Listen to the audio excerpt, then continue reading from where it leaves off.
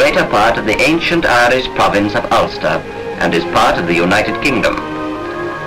As a result of an English plantation some 390 years ago, joined by Scottish immigrants and blended with the native Irish, it is a strange mixture that makes us the Ulstermen of today. Ours is a land we are proud of, and haven't we every reason to be proud of it? A land of industry and machines. A land where graceful ships are built. And yet a country where craftsmanship still survives. It's a land of fine linen too. It is the home of a people who combine in themselves the qualities of the Irish, Scots and English ancestors. I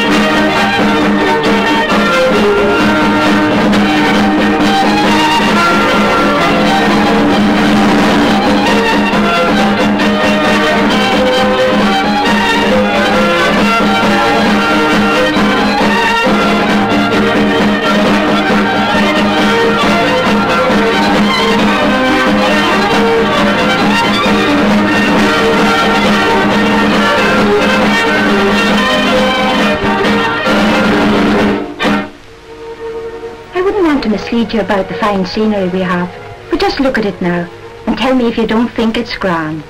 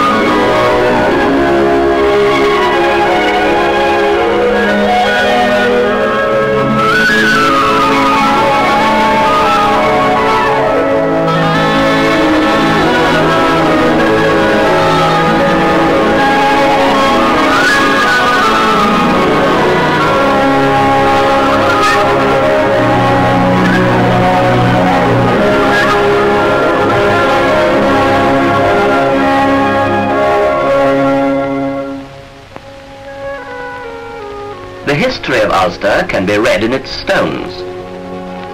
This cross at Donaghmore was put up over 1,000 years ago. In our later history, there is ample evidence of the strife and plunder that for many generations beset us. The countryside is still studded with derelict castles. They stand as silent reminders of the days when the Normans tried and failed to subdue the Irish people. We are still unsubdued.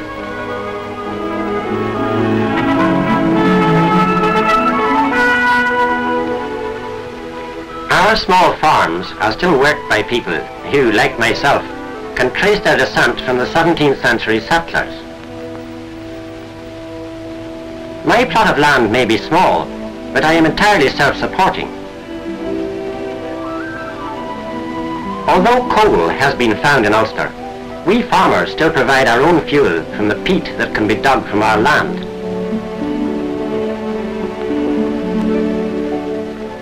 Yes, it is from the hard work of the wee farmers that Ulster has built up its reputation for sturdiness and independence. Of course, we are blessed by having a fine soil, and indeed a fine climate too, though some folks may find it a little too damp. Old-fashioned ideas die hard with us, but we're keen to use mechanical methods where our fields are large enough. Even on my holding, the horse has given way to the tractor, and I'm growing more now than ever before.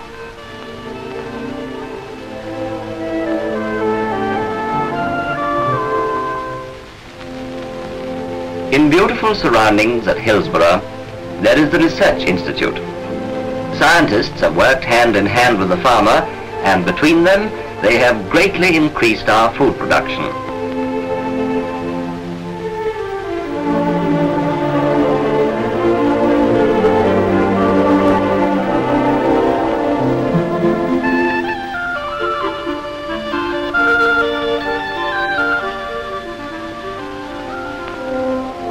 Testing of eggs for purity and the grading and stamping of them before packing is now being done in every market town.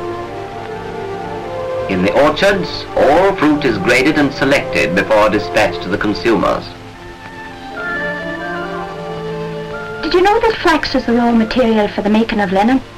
And it's very true it can be grown better in Northern Ireland than in any other part of the United Kingdom. And it's a pretty crop to look at too, with its wee blue blossom. For generations, flax has been pulled like this. For the fibers have to be pulled and not cut. But on many farms now, we have these mechanical pullers. And a great saving they are too. At the Linen Research Institute, experts devote their time and brains to improving the methods of flax cultivation and the production of fiber. Linen has carried the name of Ulster to the ends of the earth, whether it be in the furnishing of a great Atlantic liner, or in the fabric of an aeroplane, or indeed in the decoration of the humblest cottage.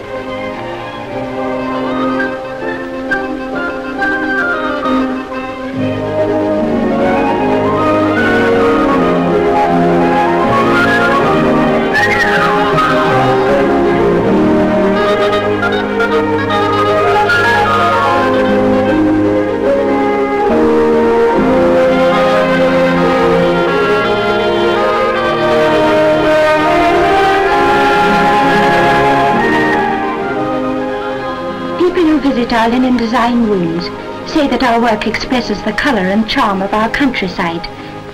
We hope it does.